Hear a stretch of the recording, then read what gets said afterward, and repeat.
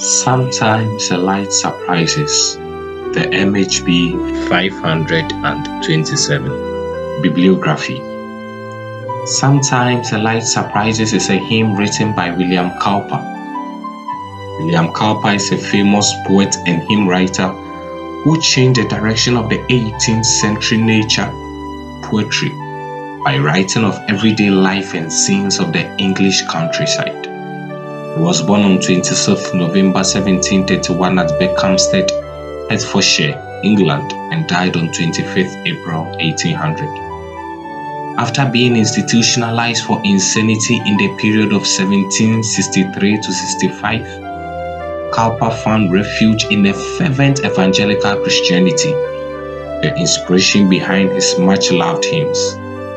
His religious sentiment and association with John Newton who wrote the hymn Amazing Grace, How Sweet the Name of Jesus Sounds in a Believer's Ear, led to much of the poetry for which he is best remembered, and to the series of the Olney hymns. William Cowper also wrote a number of anti slavery hymns, and his friendship with Newton, who was an avid anti slavery campaigner, resulted in Cowper being asked to write in support of the abolitionist campaign. Some of the famous hymns of Cowper include There is a Fountain Filled with Blood, MHB 201, Hark My Soul, It is the Lord, MHB 432, etc. Background For the entirety of Cowper's adult life, he was plagued by persistent, devastating, at times suicidal depression and insanity. People go through a whole lot more sufferings in life loss of home, unemployment, loss of loved ones, accidents rendering people incapacitated in one way or the other, diseases, poverty, etc. There are days when one can't just do anything in life but to hope. Anyone who will be honest to confess the reality of life knows that this life is full of dark moments. The kind of moments when God seems absent when you question everything you've ever believed and wonder whether the universe has gone slightly off kilter. In those times, it really can seem like God is hiding from us. In our ever so safe sad culture, we hesitate to acknowledge these dark times unless we should somehow minimize the truth of what we say we believe. So instead of honestly confessing the pain we create happy cliches and condolences to assure ourselves and one another that everything is right in the world. But it is not. This world is a world awaiting redemption, a world groaning with blind injustices and epidemic and pandemic pain. It is a very broken creation, and more often than we will care to admit, that brokenness can even invade our own souls. What we need to understand is that acknowledging the darkness actually makes the light all the more brilliant. In all this chaos and distraction, we cling to the light of Christ in faith. Faith that this present darkness, while reality is not the ultimate reality. Faith that as we struggle forward, He struggles alongside us. Faith that one day, by His grace, we will reach our better permanent home. However, in our faith, we cannot always see. And this is why the light surprises.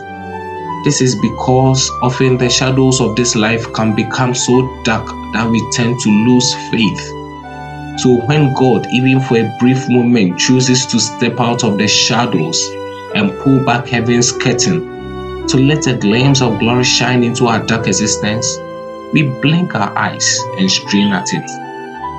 It is like someone suddenly turning on the light while we are fumbling around in a dark room. It is completely welcome, but completely unexpected, and perhaps even for a moment unsettling.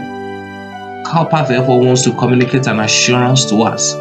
He admonishes us with this hymn to hold on in our faith, for a light will soon surprise us. Sometimes a light surprises the Christian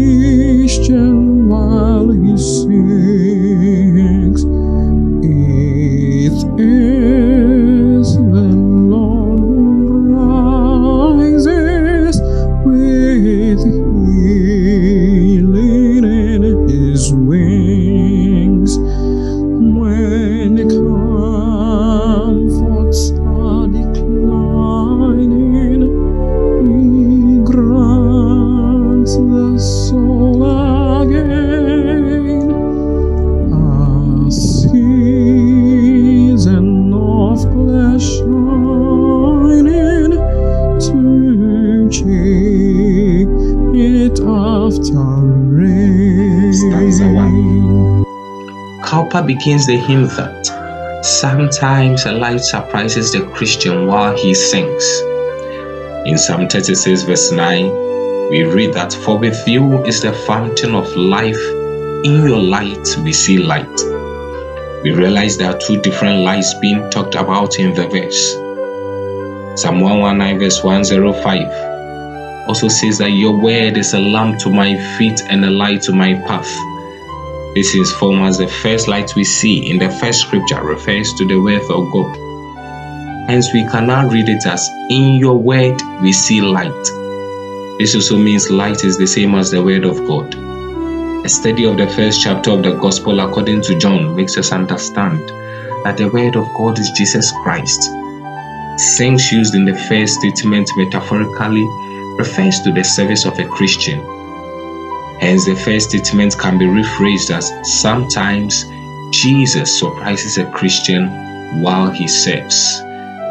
The world today presents with endless tribulations, sufferings, pain, etc. But people sometimes want to let go of the service in God's vineyard. People are sometimes known for their active participation and service to God, but their faith is being tested when the difficult times start coming. Cowper wants to use this hymn to reiterate Malachi 4:2. But you who fear my name, the Sun of Righteousness shall arise with healing in his wings. That the battle isn't over. Though sorrow cometh at night, but joy cometh in the morning. When all comforts are declining, when all hope is being lost, when our faith starts to waver, this Jesus who loves us so much will grant us a season of clear shining after the rain. Note that he says a season. The joyous times isn't going to be just a day or a short time, but an eternal joy that will overwhelm us. Hence, we walk with the assurance that the sufferings of this present time are not worthy to be compared with the glory which shall be revealed in us. Romans 8, verse 18.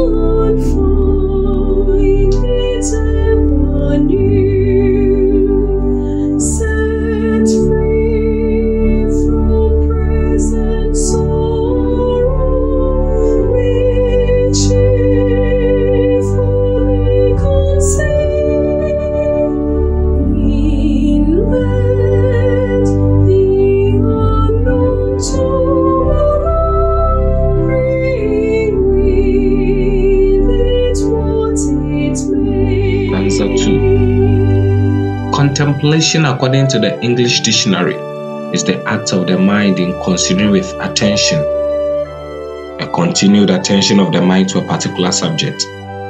It can also be referred to as meditation. Cowper begins the second stanza with a plea to meditate or put our minds through a continuous process of fixed attention on the theme of God's salvation.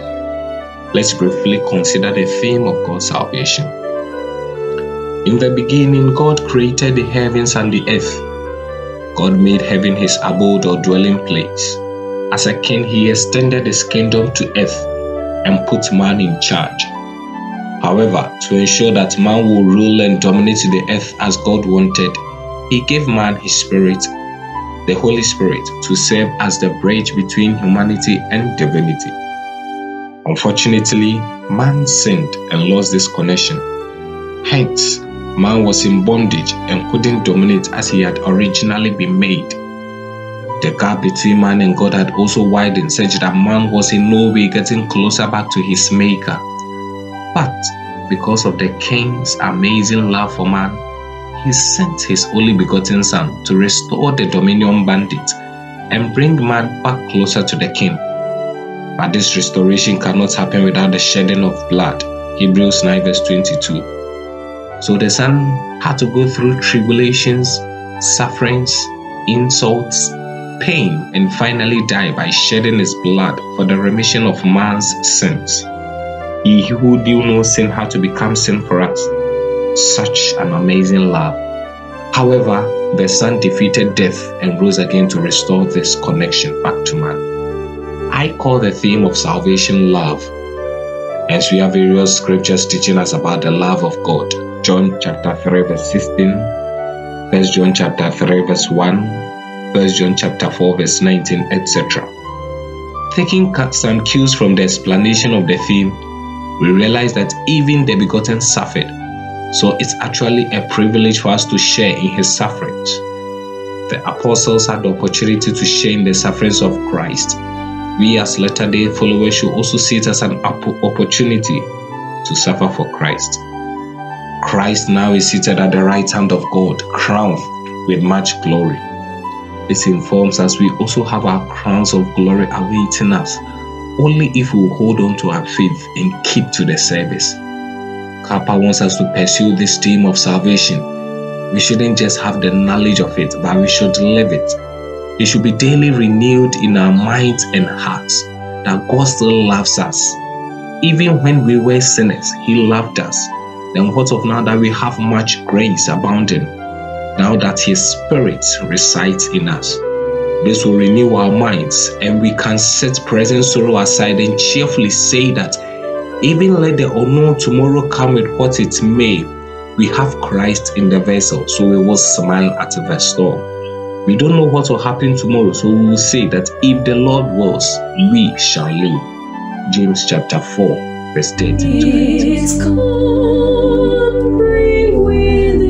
snow.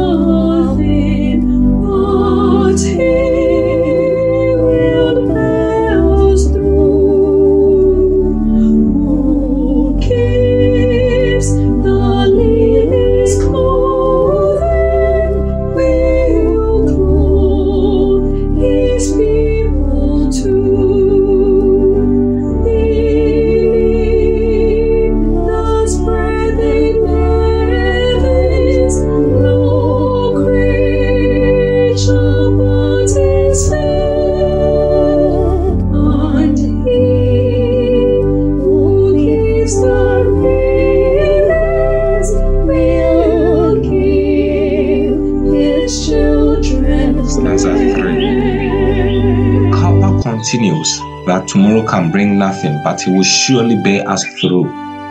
We won't worry about what we will wear, for He who gives the lilies clothing will clothe His people. Jesus said in Matthew 6 28 to 30 that we shouldn't worry about clothing. For if King Solomon in all his glory was not arrayed like the lilies of the field, who neither toil nor spin, how much more won't he clothe his people with nicer arrays? Cowper reiterates again the words of Jesus Christ in Matthew chapter 6, verse 25 to 26. That we should also worry about what we will eat or we will drink. For no creature is but fed beneath the heavens. He who feeds the ravens will surely give bread to his children. He fed the Israelites with manna all the time through the wilderness. Never doubt him, for he is able to do exceedingly abundantly above all that we ask or think. Ephesians 3, verse 20. No vine nor fig tree, neither there wanted fruit should bear,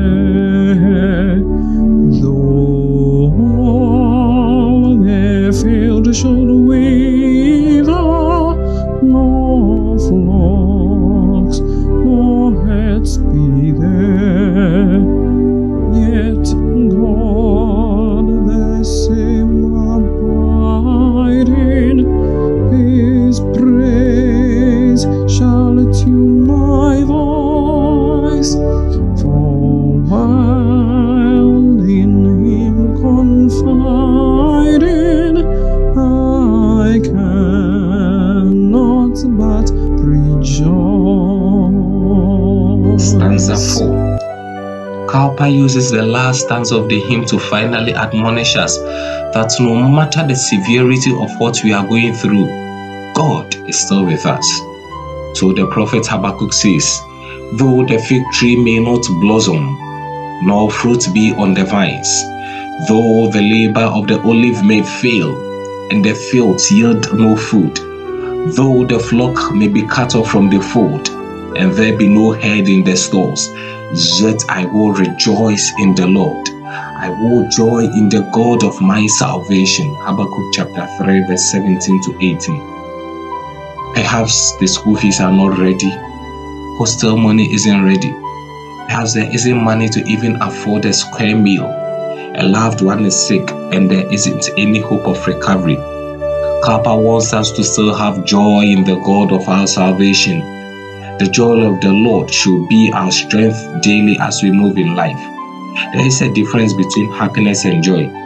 Happiness is a temporal excitement, but joy is a permanent feeling which rings deep down in our souls. We ought to daily rejoice no matter the current condition. He is the same God of Abraham, the God of Isaac, the God of Jacob. He is the God we adore. His love is as great as his power. He is the same great God who has none greater than him. He abides forever and never changes. We ought to sing His praise, to tune our voices. This means His service must be a constant thing that we use to sharpen our faith. For while we confide in Him, we will always be rejoicing. Conclusion William Cowper, a regular patient at a mental hospital, could look outside his current condition and communicate the love of God to us. We also can go an extra mile by living it and sharing it with others. We want to admonish ourselves with Lamentations 3 verse 19 24. Remember my affliction and roaming, the wormwood and the gall. My soul still remembers and sinks within me. This I recall to my mind. Therefore I have hope. Through the Lord's mercies we are not consumed, because his compassions fail not. They are new every morning. Great is your faithfulness. The Lord is my portion, souls my soul. Therefore, I hope in him. May the God of hope fill you with all joy and peace as you trust in him, so that you may overflow with hope by the power of the Holy Spirit. Amen. Shalom.